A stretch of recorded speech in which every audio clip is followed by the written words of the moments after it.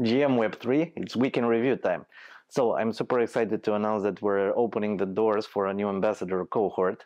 And this time we have a bit of a different onboarding experience. And how different, you might be asking yourself? Well, uh, we want candidates to be a bit familiar with our network and ecosystem before they before actually applying.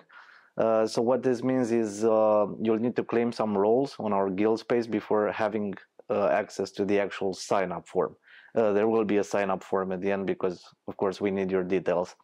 Uh, but the procedure is fairly simple like it takes maybe 20 minutes to do everything basically the requirements for the roles are super simple you'll need to uh, follow our socials visit our, visit our websites uh, the academy uh, our documentation. And uh, for uh, the second role you'll need to hold some tokens on sapphire. And uh, we actually offer tutorials for this while you're going through the requirements. Or there's also a youtube tutorial where it explains basically everything how to create a, new account on uh, our Rose wallet, uh, how to transfer funds to the actual wallet, how to transfer to Paratimes, uh, to Sapphire, which you'll need to uh, actually access the dApps in our ecosystem. So the procedure is fairly simple, but uh, we believe it's necessary because uh, it makes sense that you're familiar with our network, familiar with the ecosystem, familiar with our products, before actually applying to be an ambassador. So uh, yeah, uh, we announced the the new cohort yesterday. We also um, uh, hosted the Twitter Spaces where I was joined by uh, other members of our team. Um, a lot of members uh, in our team have joined from the ambassador program, so this is a this is a big opportunity for you to grow your knowledge in Web three. Uh, maybe join us in the future or join another project. Uh, but yeah, uh, it's basically a, a, platform where you grow your skills, uh, learn more about technologies in Web3, and uh, we hope you apply. Uh, but yeah, enough of that. Uh, let's move on to updates.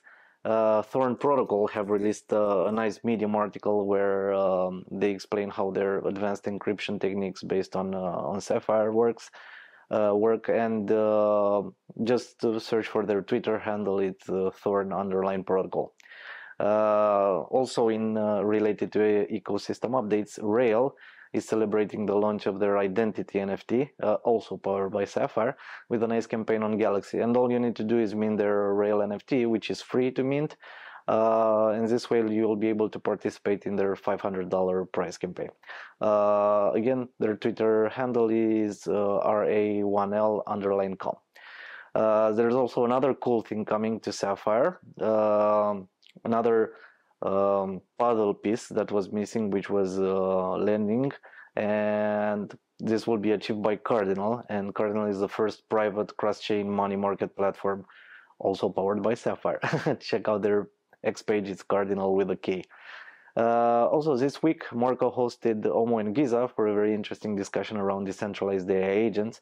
And you can find the recording on our Twitter page and, of course, on the Rose Garden at oasisrose.garden. Uh, and since we're on the subject of decentralized AI agents, uh, we have a new lesson focused on this topic on the Academy. Uh, that's oasisrose.garden slash courses. Uh, we're now uh, way above 70 lessons on the academy so i'm very happy to see it grow. Uh, and yeah let's finish the weekend review with a bang uh, because tuesday august 6th at 4 p.m cet Jernej Kos, uh, our amazing director uh, will join for a talk around the oasis core 24.0 uh, it features ROFL CHURP so make sure you tune in. Um, we'll explain how everything works how off-chain logic works, and of course much, much more. Uh, but yeah, that's it for the weekend review. I'm gonna get back to work. Lots to do. I wish you have a great weekend, and I'll see you next week. Bye, everyone.